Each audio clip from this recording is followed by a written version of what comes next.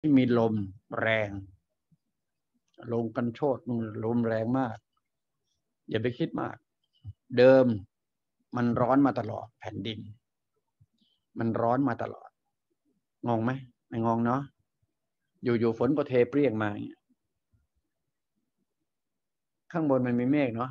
มันก็เทปุ๊บมันเหมือนกับถูกกดไง เหมือนกับแผ่นอะไรมัน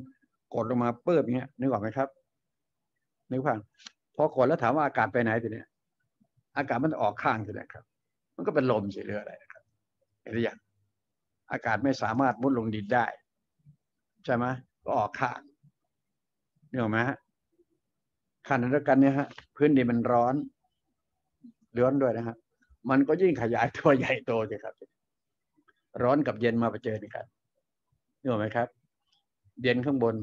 คือฝนตก ปืด ร้อนบนพื้นดิน เจอร้อนก็ให้อากาศก็ยิ่งขยายตัวทันทีไวมันจึงเกิด ลมหรือว่าเกิดพายุฤดูร้อนที่เขาว่ากัน โอเคนะ เอาละ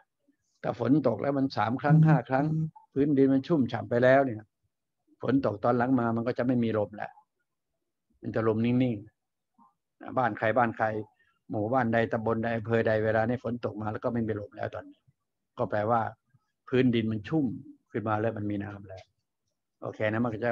เข้าหากันได้อย่างลงตัวนะฝนตกพรำๆเดือนมิถุนากรกฎาสิงหาเนี่ย หลังจากดำนาเสร็จแล้วก็แค่นะฝนก็จะพรำให้ ไม่มีพายุไม่มีลมค่อยมายุ่งเกี่ยว ยกเว้นลมนู่นจาก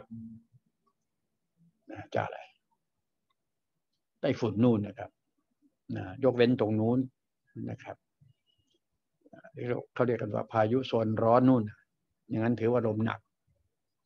ใช่ไหมอย่างบ้านบ้านเราก็เจอแล้ว พายุโซนร้อนปลาบึกไง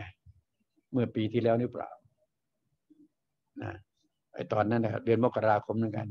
ก็ลุงเนี่ยไปสลายนะพายุโซนร้อนปลาบึกวันนั้นเล่นทั้งคืนหนึ่งคืนหนึ่งวันก็แล้วกันจนกระทั่งเรียกว่าเอาอยู่ก็แล้วกันอะ มันงั้นพังราบพันาศูนย์หมดนะครับนั่นก็คือไปทำมาเรียบร้อยแล้วนะครับ ก็มีผลงานการปฏิบัติการอยู่แล้วตรงนั้น ก็จึงไม่วิตกกระเพื่อมไง เอาละทีนี้กลับมาถึงอีกทีหนึ่งว่าไอ H2O คือน้ำบริสุทธิ์เมฆที่เราเห็นอยู่เนี่ยครับ ใครขึ้นขึ้น